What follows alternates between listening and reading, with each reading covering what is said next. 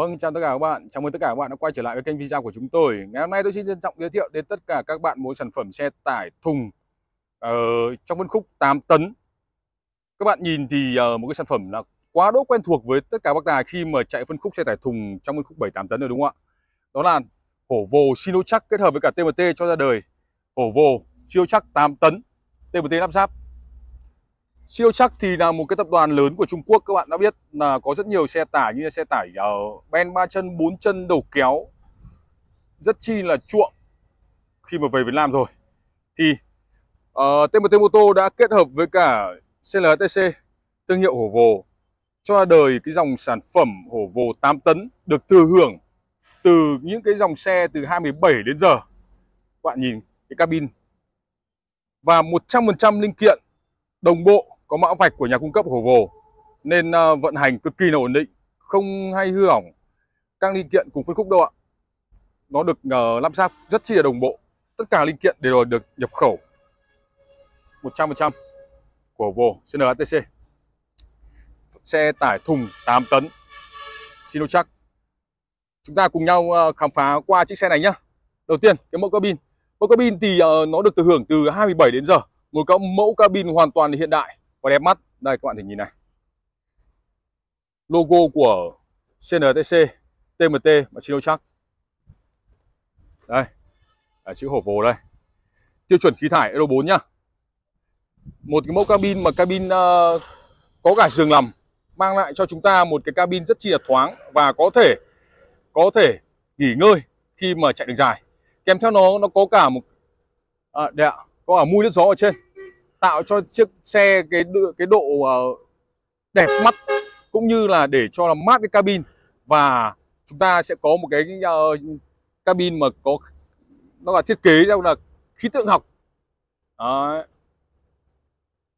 không bị cản gió rất đẹp mắt. Hổ vồ Sinotruk tải trọng của nó thì được uh, tải trọng là 8 tấn. 8 tấn chiều dài thùng của nó là 8m1 rộng 2m35 và chiều cao lòng thùng là 2m15 các bạn thể nhìn này thùng của TMT lắp ráp này. Ngoài được bọc uh, inox nhá ngoài bọc inox nhá đây kể cả những cái vết này TMT dập nổi đây ở thùng luôn. Đấy. Cơ lốp của nó thì được uh, trang bị cơ lốp 1000 Nasdaq 20 Lốp của Đà Nẵng. À.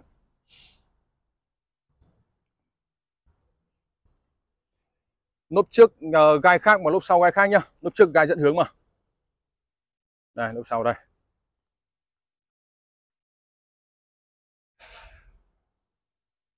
Thùng rất đẹp Thùng của TMT đóng. Phủ bạt rồi nhá các bạn nhá. Có mùi phủ bạt. Đấy.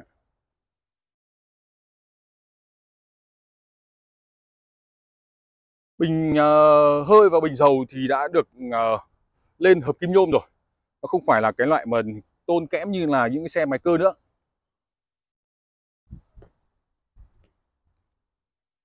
Nhíp của nó thì nhíp trước 11 lá. Nhíp sau thì tổng là 17 lá cơ. 9 lá chính và 8 lá phụ. Đây, nhíp của nó đây. Đấy.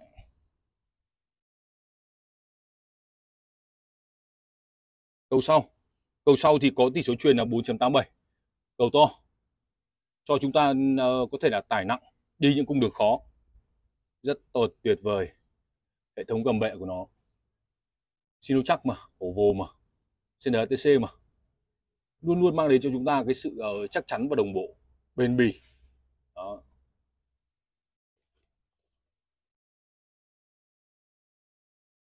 Đây chúng ta có những chassis này.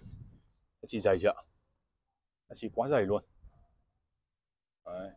và đây chúng ta có thể nhìn thùng này, thùng TMT đóng này. Rất dày dặn. Rất dày dặn Đấy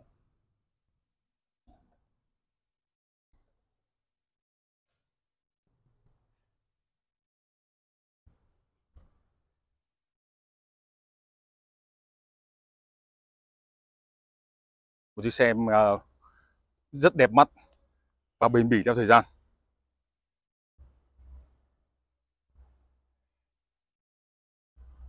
TMT 8 tấn, hổ vồ Sinochak thùng mui bạt.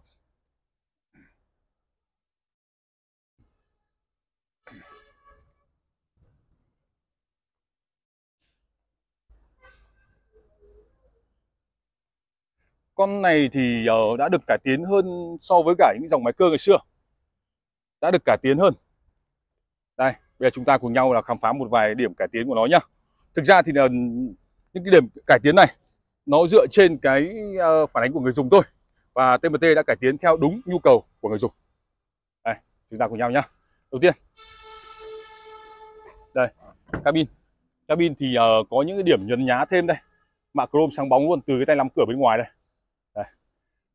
Đấy, cho chúng ta sự đẹp mắt hơn. Rồi tiếp theo.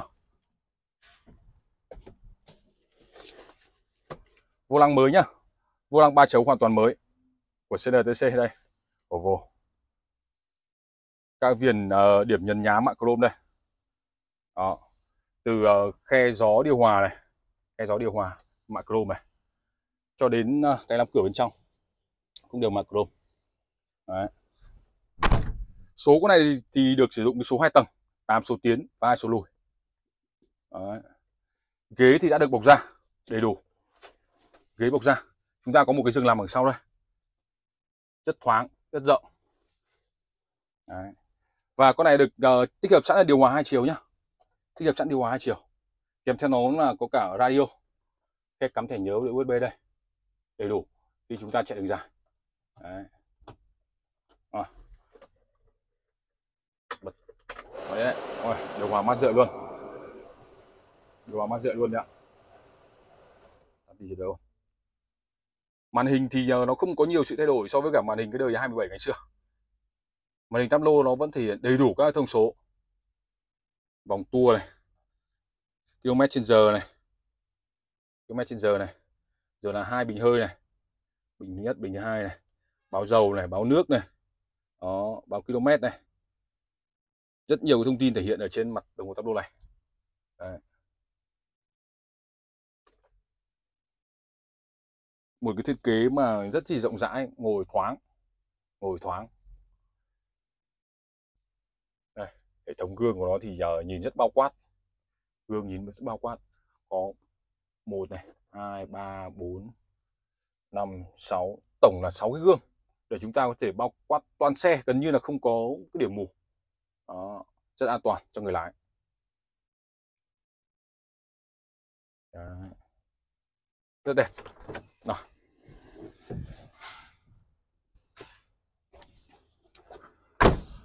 ngoài cái phân khúc ờ, uh, 8 tấn thùng ờ, uh, 8m1 này ra chúng tôi còn có cả cái loại ờ, uh, 7 tấn rưỡi thùng 6m2 nữa một phân khúc mà nhỏ hơn một chút cho các bạn cái khối lượng hàng trên chở nhỏ hơn một tí tải trọng thấp hơn nhưng mà vẫn sử dụng cái ờ, mẫu cabin này.